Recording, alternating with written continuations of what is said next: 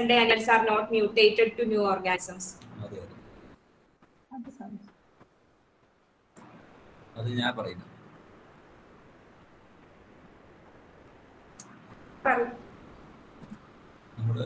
പല ഉത്തരങ്ങളിലായിട്ട് വന്നതാണ്.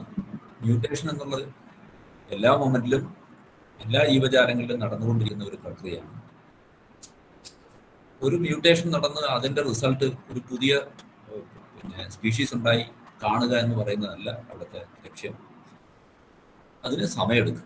പരിണാമത്തിലെ കാലദൈർഘ്യം എന്ന് പറയുമ്പോൾ മില്യൺസ് ഓഫ് ഇയേഴ്സ് ആണ് ഒന്നിൽ നിന്ന് മറ്റൊന്നിലേക്ക് മാറിപ്പോകുന്ന സമയത്ത് ആ സമയക്രമം അതുകൊണ്ട് നമുക്ക് ഇങ്ങനെ ചൂണ്ടിക്കാണിച്ചുകൊണ്ട് പറയാൻ കഴിയുന്ന ഒരു കാര്യമില്ല അത്. നടന്നുകൊണ്ടിരിക്കുന്നുണ്ട്. പക്ഷെ ആ നടക്കുന്ന മ്യൂട്ടേഷൻ ഒരു പുതിയ ജീവിവർഗത്തെ ഉണ്ടാക്കുന്ന കാലദൈർഘ്യം വളരെ വലുതായതുകൊണ്ട് നമുക്ക് പെട്ടെന്ന് തിരിച്ചറിയാൻ കഴിയുന്നില്ല എന്നുള്ളതാണ് നമ്മൾ മനസ്സിലാക്കേണ്ടത്. അതല്ലാതെ മ്യൂട്ടേഷനുകൾ നടക്കുന്നില്ല എന്നൊരു തീരുമാനത്തിലേക്ക് നമുക്ക് എത്താൻ കഴിയില്ല.